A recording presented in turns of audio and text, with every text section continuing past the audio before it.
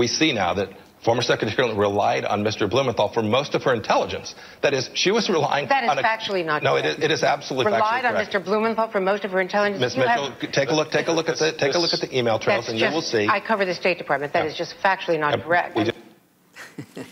Um, that clip, for me, just uh, just defies all logic, and I think Andrea Mitchell uh, correctly called him out on something that was a, a falsehood.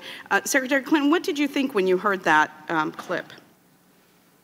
Well, that it was factually untrue. And uh, I think um, your questioning and what I have uh, stated uh, today um, is a much uh, clearer and more factual description of how we gathered information uh, to make our decisions regarding Libya.